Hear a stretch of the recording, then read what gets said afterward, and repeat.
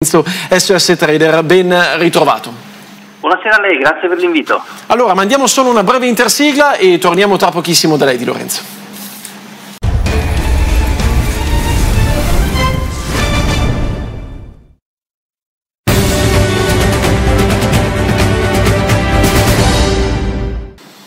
Allora, Di Lorenzo, una giornata quasi da manuale, si è recuperato la metà più o meno di quanto perso ieri, non che sia una regola scritta, ma di fatto non si può dire un recupero pieno.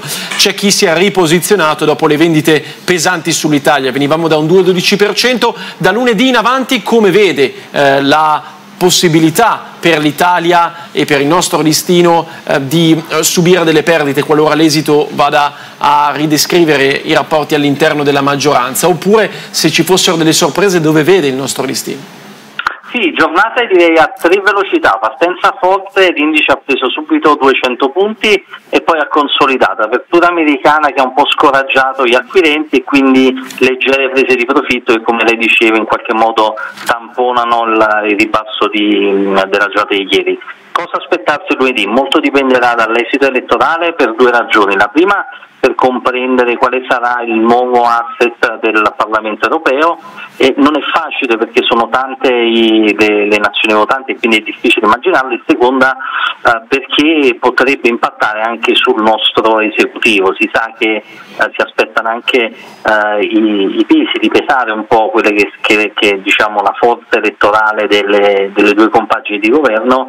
E il timore che da lì nasca un'ulteriore fase di tensione e per questo lo spread sarà una, una, dire, da, da guardare con grande attenzione nel corso della prossima settimana.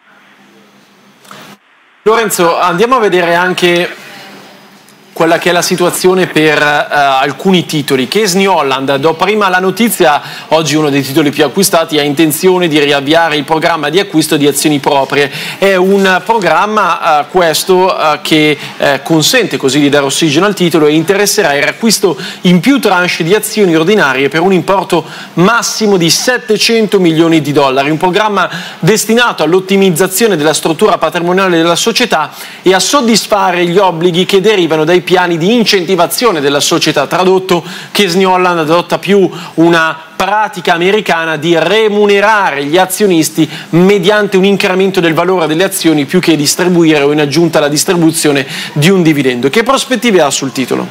Sì, la questione è questa. Nel corso di maggio uh, CNH ha perso 2 euro. È partita a 9,75 è arrivata a poco meno di 7,75. Questa è stata un'opportunità per fare questa operazione. Eh, la, la, mia impressione è che Aria 760 sia un supporto interessante, un supporto al quale potrebbe partire un movimento di recupero almeno parziale dopo questo che è stato un maggio veramente complicato, quindi nel breve termine mi aspetto di imbalzo, nel medio termine molto dipenderà anche dalla, da quello che sarà il mood del mercato rispetto all'indice italiano eh, temo che se la situazione politica si diventi in qualche modo incandescente, tipicamente arriveranno i, i soliti attacchi sullo spread e quindi l'indice potrebbe essere penalizzato così come anche il CNH come tutto l'indice. Quindi nel breve ritengo che un rimbalzo ci stia, ma nel medio termine attenderei un attimo l'esito della, di questa tornata elettorale per comprendere se l'Italia sarà protagonista di un'estate calda o piuttosto saremo sereni con uno spread e magari va sotto i 250.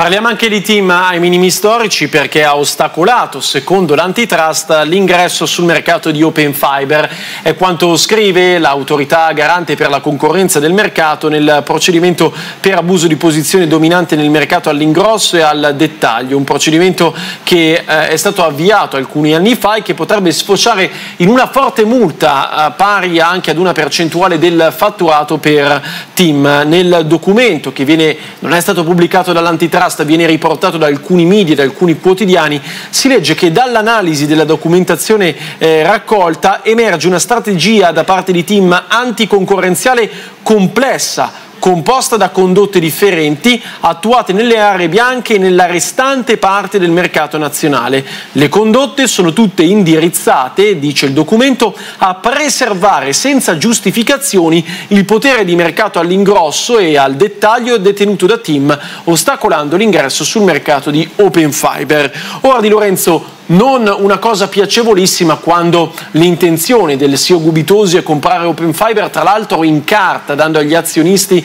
proprio delle azioni team, per due ragioni questo sgambetto appurato dall'antitrust e del calo delle azioni team che potrebbero diluire ulteriormente l'azionariato esistente nell'ex monopolista qualora si concretizzasse questa operazione. Che ne pensa? È giusto che team valga solo 44 centesimi? Una fusione con Open Fiber si potrebbe eh, fare e che risvolti potrebbe avere sul titolo?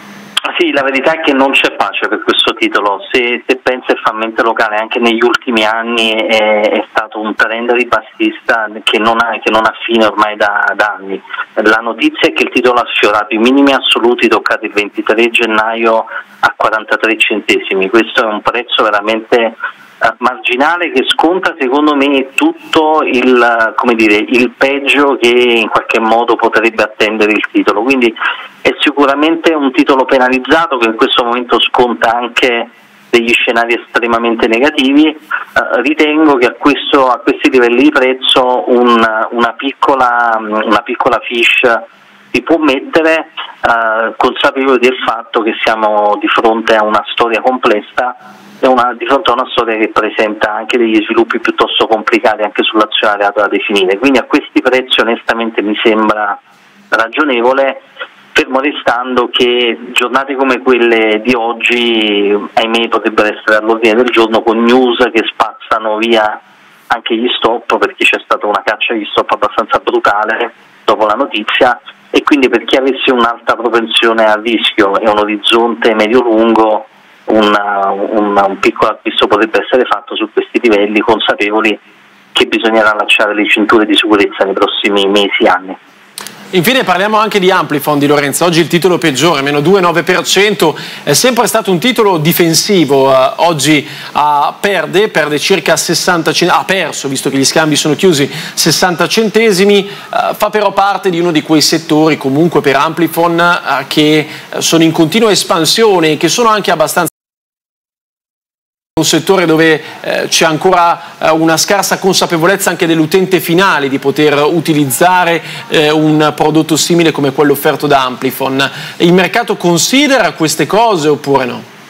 Sì, guardi, è vero, oggi è una, è una battuta adesso, ma contestualizzata all'interno del movimento partito il, il 7 maggio è ben poca cosa rispetto al, al rialzo che ha generato. Il titolo è una bellissima storia, è un, è un trend rialzista definito ormai da anni, direi lo speculare di, di team, del titolo di cui parlavamo prima, quindi una storia di grande successo. Qui mi sembra semplicemente una battuta d'arresto sulla resistenza che, che è rappresentata dal massimo assoluto toccato il 12 settembre in area 2070, quindi un, uno storno fisiologico e anche secondo me interessante per prendere posizione a prezzi più congrui, ma è una storia che mi piace e ritengo che il breakout di area 2070 potrebbe aprire un nuovo impulso rialzista e quindi prospettive assolutamente interessanti. Bene, grazie allora Pietro Di Lorenzo di SOS Trader, grazie ancora e arrivederci. A lei, buon weekend.